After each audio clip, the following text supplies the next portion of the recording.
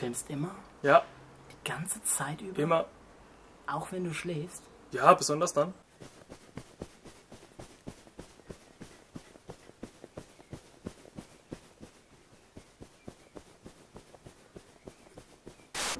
Wann hast du die Kamera das letzte Mal geladen?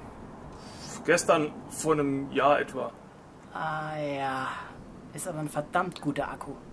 Ähm, was für eine Kamera nutzen wir eigentlich? Das ist so eine ganz billige, so 50.000 Dollar Grundausstattung. Wird bei den Amis viel benutzt, für Film und Serien und so ein Kram. Ja, aber warum sieht unser Material dann so scheiß aus? Weil wir das nachbearbeiten, damit es authentisch aussieht. So wie so eine 100-Dollar-Kamera. Ja, dann könnten wir doch auch gleich eine 100-Dollar-Kamera nehmen, anstatt so ein teures Ding. Und wenn es dann scheiße aussieht, sagen wir, es sieht scheiße aus, weil es authentisch aussehen soll. Aber dann wäre es ja nicht mehr kontrolliert, scheiße. Weil fürs Kino musste ja, äh, weißt du, und, ah fuck, mein Akku ist gleich leer. ey. Ach, jetzt auf einmal.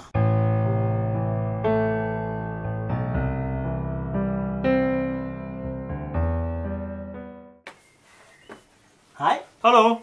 ähm, läuft das Ding? Ja? Du filmst immer deine Tür. Ja, wenn's klingelt. Was war das? Ein Schnitt. Aber wieso? Das ist offenbar nicht interessant genug, was wir zu erzählen haben. Aber wer würde denn kleine Passagen rausschneiden? Ich meine, wenn das langweilig ist, was wir hier reden, warum schmeißt du dann nicht die, gleich die ganze Szene weg? Ist ein Stilmittel.